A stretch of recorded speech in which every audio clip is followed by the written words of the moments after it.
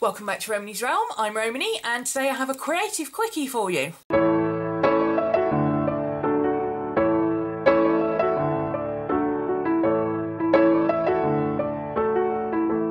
This is the carbon ink pen, which a lot of people have, a lot of people love.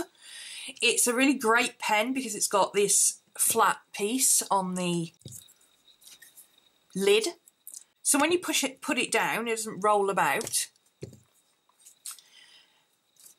The biggest issue with this pen that I hear almost everybody complain about is that you cannot post it.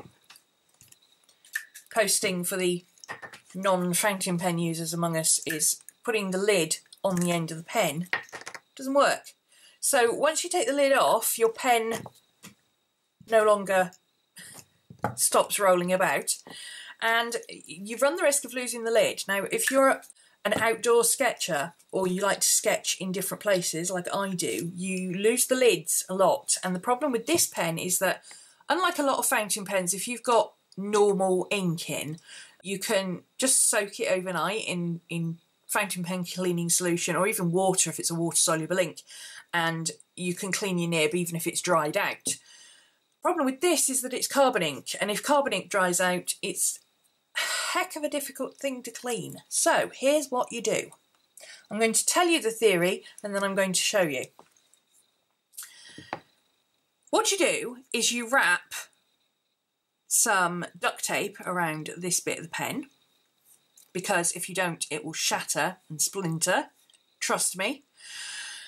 And then you take off with a hand saw or I actually did mine with a, a a box cutter. Uh, it took a little while and a little bit of patience, but it does work because it's pretty soft plastic once you get it going. You take off five centimetres, no more, five centimetres. That is two inches for the uninitiated to the metric system. Five centimetres, two inches, that is all you take off.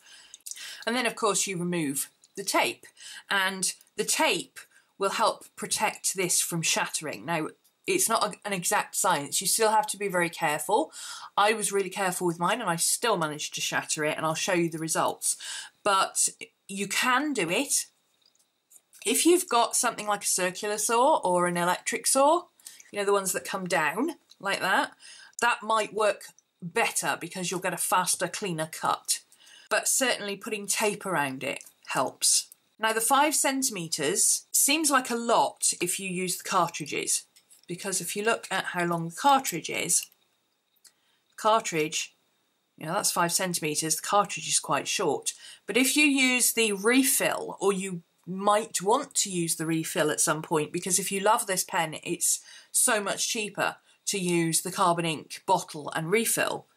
The refill actually comes up to about here. So there's not a lot of clearance. If you take five centimetres off, there's not a lot of clearance. And the result is this. Now this is quite short for a pen, but for sketching pens, a lot of people prefer to be able to hold their pen like that anyway. So the shorter pens, like the TWSBIs, tend to be very popular for sketches. So this, you can hold it nicely in your hand, get a good control of the pen. But better than that, you can post it. Which not only adds a little bit of height to the pen if you want it, it also adds a little bit of grip because this is hexagonal, but it also means that when you put your pen down, it no longer rolls about. So that solves several of the problems of this pen in one go.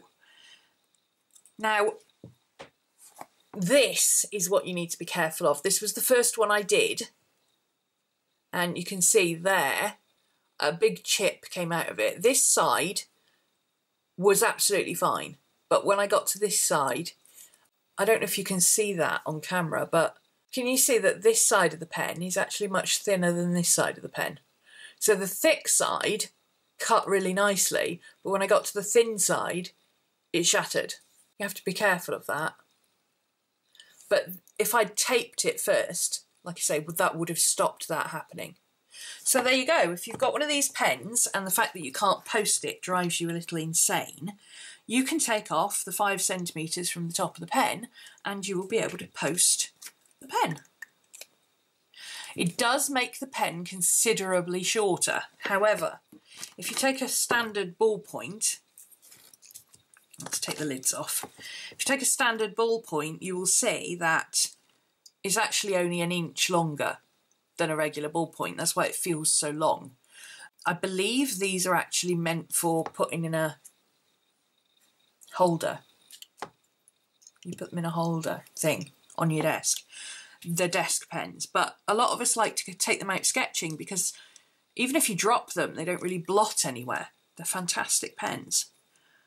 And of course, the carbon ink is bulletproof. So you can use it with watercolour, acrylic, marker, anything.